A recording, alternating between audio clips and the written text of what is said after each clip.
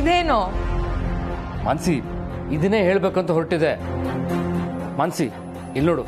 This is a real drama ಅಮ್ಮನ್ point of view ಅಲ್ಲಿ ಈ ಎರಡೂ ಒಂದೇ.